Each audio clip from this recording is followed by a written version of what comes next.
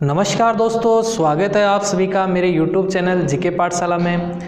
दोस्तों, आज हम बात करेंगे जो मार्क्स का वीडियो नंबर छः, जिसमें हम बात करेंगे राज्य के संबंधी जो विचार हैं मार्क्स के, वो इसके अलावा जो विचारधारा के बारे में मार्क्स क्या कहता है, और साथ ही जो क्रांति सिद्धांत दिया हुआ है, क्रांति के संबंधित जो विचार हैं मार्क्स के, उनके बारे में बात करेंगे। तो सबसे पहले बात करते हैं मार्क्स का क्रांति सिद्धांत।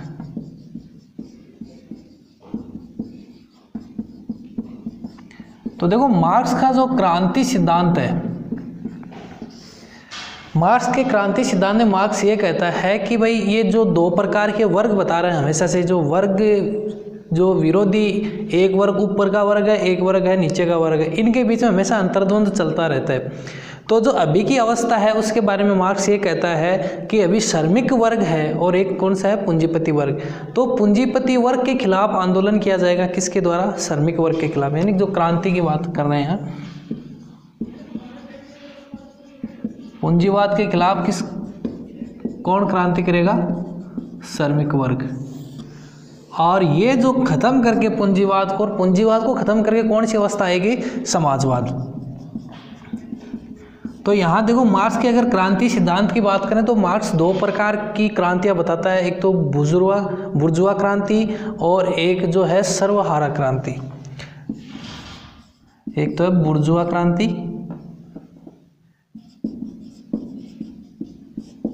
और दूसरी अगर क्रांति की बात करें तो वो है सर्वहारा क्रांति। अब देखो, दोनों में क्या डिफरेंस इसने बताया है? वैसे इसकी परिभाषा अगर क्रांति की बात करें तो मार्क्स की एक परिभाषा आती है इंपॉर्टेंट ये ध्यान रखना कि क्रांति है जो, वो सामाजिक परिवर्तन का अनिवार्य माध्यम है। सामाजिक परिवर्तन का अनिवार्य माध्यम।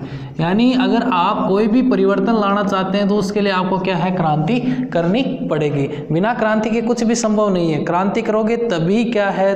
देश में जाए जैसे अंग्रेज़ थे, अंग्रेज़ यहाँ से गए। भाई, राज करते थे, अंग्रेज़ यहाँ से गए। किस कारण से गए? लोगों ने क्रांति करी उनके खिलाफ। तो यानी परिवर्तन हुआ। तो समाज में जो परिवर्तन होना है, उसके लिए क्रांति क्या है? अनिवार्य माध्यम है। आप बैठे बैठे ये जैसे वो आता है व्हाट्सएप पे 11 लोगों को भेजो 21 लोगों को भेजो, ये हो जाएगा। ऐसे है ना, ऐसे कुछ नहीं होना था। अंग्रेज़ यहीं के यहीं रहते।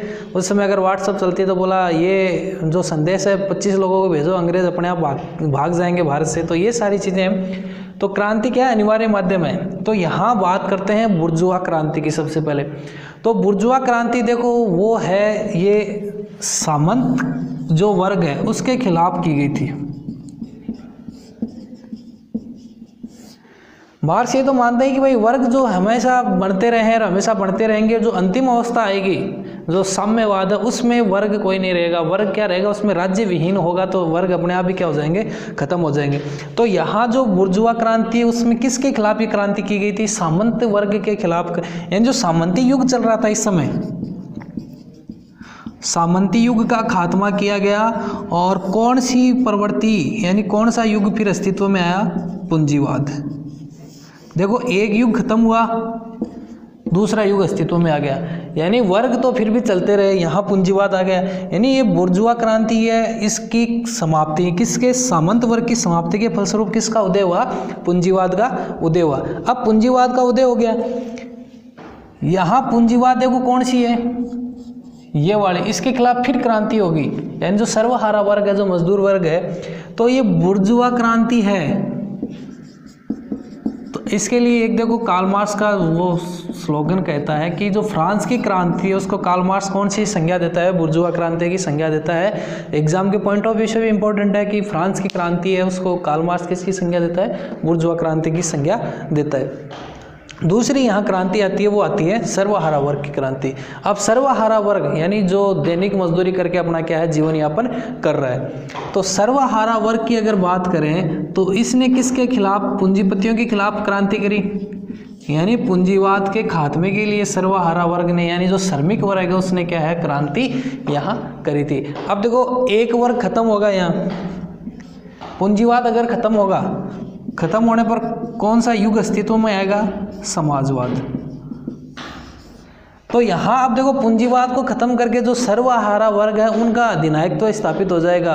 कहने का मतलब है, जो समाजवाद की जो अवस्था आएगी, उसमें सर्वहारा वर्ग है, वो पूंजीपतियों के ऊपर क्या करेंगे? राज करेंगे। तो ये अवस्थाएँ क्या है? यहाँ तक चलती रहती है। यानी जो मार्क्सवाद अपनी पाँच स्टेज बताता है, उसके बाद जो नेक्स्ट फर्दर स्टेज आती है, उसमें ये कहता है कि इन सभी वर्गों का जो समापन होगा, वो कब होगा? जब अंतिम अवस्था राज्य या ये कहें कि समाज प्राप्त कर लेगा। और अंतिम अवस्था कौन सी है? वो है साम्यवाद। अंतिम अवस्था का मतलब कि यहाँ राज्य विहीन कोई राज्य नहीं होगा। वर्ग विहीन कोई वर्ग नहीं होगा। यानी ये सारी चीज़ें क्या हो जाएँगी? खत्म हो जाएँगी। तो ये मोटा मोटी मार्क्स के क्रांति का सिद्धांत आता है। दो प्रकार की क्रांतियाँ बताता है। एक तो बुर्जुआ क्रांति, एक सर्वहारा क्रांति। एक की गई थी सामंत वर्ग के खिलाफ, ये की गई थी पूंजीपतियों के खिलाफ। इससे जो जन्म हुआ, वो हुआ पूंजीवाद का, सामंत युग की क्या हुई? खात्मा।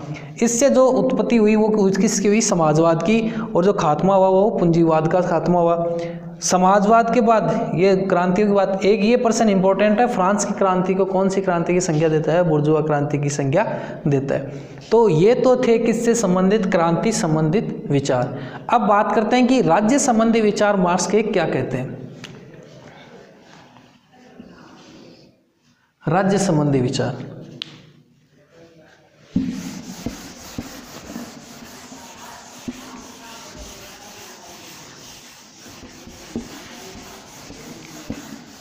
देखो, राज्य संबंधी विचारों की अगर बात करें तो मार्क्स ये कहता है कि राज्य तो एक तरह से क्या है? शोषण का यंत्र है।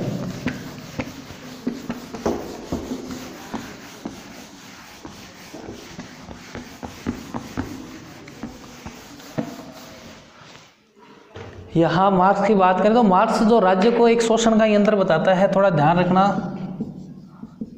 शोषण का यंत्र। यह है राज्य संबंधी विचार।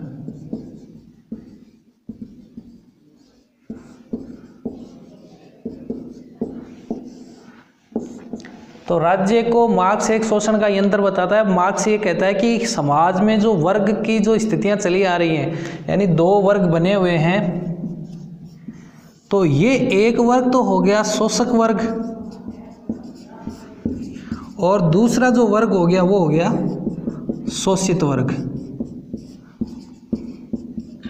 शोषक वर्ग वो जो शोषण कर रहा है जिनका शोषण किया जा रहा है, वो हो गए शोषित वर्ग। तो मार्क्स ये कहता है कि ये जो शोषक वर्ग है, ये राज्य की सारी चीज़ें, यानी राज्य द्वारा जो भी सुविधाएँ उपलब्ध करवाई जा रही हैं, राज्य के द्वारा, चाहे वो शिक्षा ले लो, यातायात ले लो, संचार ले लो, इन सब की इन सबको काम में ले रहा है। किसके लिए? सिर्फ़ और सिर्फ़ सिर्फ़ क्या है? शोषण करने के लिए, शोषित वर्ग के ऊपर राज करने के लिए।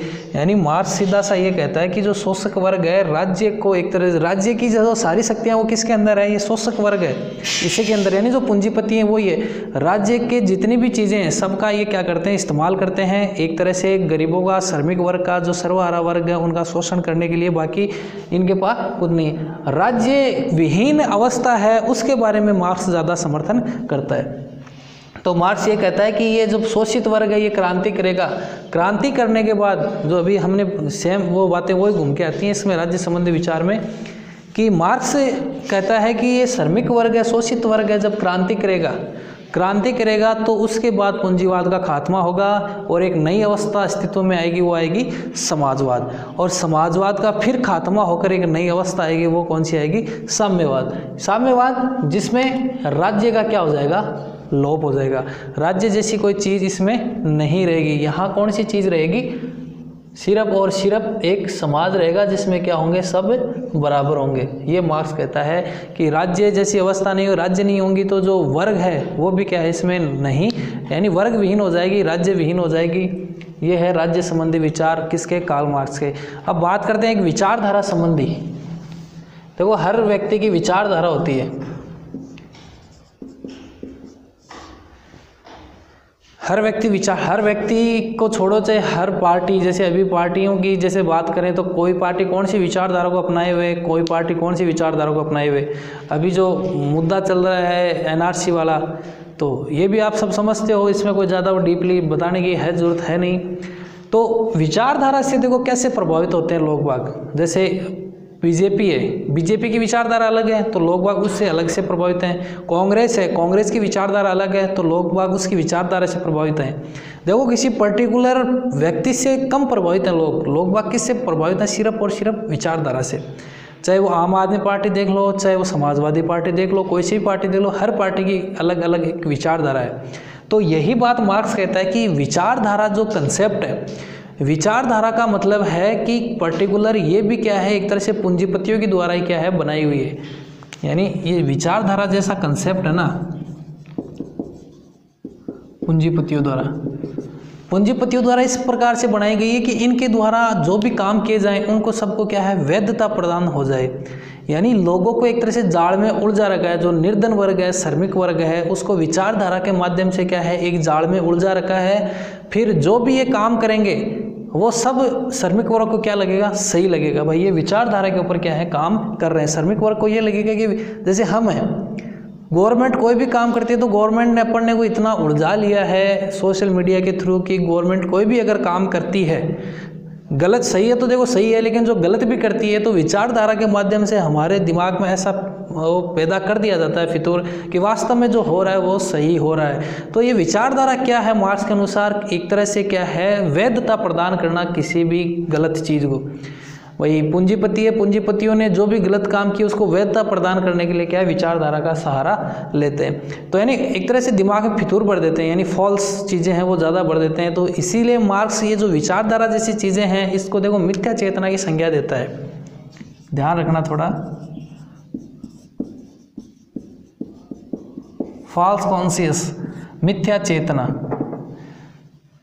यानी चेतना है वो विलुप्त कर दी जाती है एक तरह से। आप मिथ्या है, यानी झूठी चेतना है। एक तरह से तो लोगों को ऐसा लग रहा है कि अपने को जागृत किया जा रहा है, लेकिन ऐसा नहीं होता है। अमूमन ये क्या है? सिर्फ़ और सिर्फ़ अपने कामों को क्या है? सही निकलवाने के लिए और अपना रास्ता साफ़ करने के लिए पूंजीपतियों द्वारा जो चीज़ें चलाई जाती है, वही क्या है? विचारधारा को उसको नाम दे देते हैं। पूंजीपति दे देते हैं, बोला ये विचारधारा है और जो श्रमिक वर्ग है, वो उनका अनुसरण करता रहता है। तो इसमें और कोई ज़्यादा डीपली है नहीं। और कोई मार्क्स के जो विचार, एक देखो वर्ग संग, वर्ग चेतना से संबंधित विचार आते हैं। वर्ग चेतना। तो वर्ग चेतना के बारे में देखो मार्क्स के विचार वही हैं कि वर्गों के बीच जो मजदूर वर्ग है, उनके बीच जब चेतना जागृत होगी तो फिर उसके बाद क्या है, वो पूंजीपतियों के खिलाफ आंदोलन करेंगे और एक नई अवस्था क्या है, यहाँ वो अपने अस्तित्व में लाएँगे। यानी जो शोषण हो रहा है उनका, उनके खिलाफ। तो वर्ग चेतना के बारे में हमने जो पुराने पाँच से छः वीडियो हैं, उनमें सब में यही दे रखा है, वर्ग चेतना वर्ग चेतना। तो ये मार्क्स से संबंधित ज़्यादातर चीज़ें हैं, वो इसमें इंक्लूड कर ली हैं मैंने।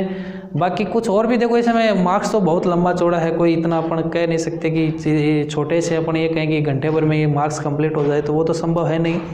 इसके अलावा इसके जैसे मानववादी चिंतन के बारे में बात कर और कई बातें आती हैं। लेकिन जो मेन मेन जैसे बात करें एग्ज़ाम के पॉइंट ऑफ़ व्यू से, वो तो सारी इंक्लूड इसमें हैं।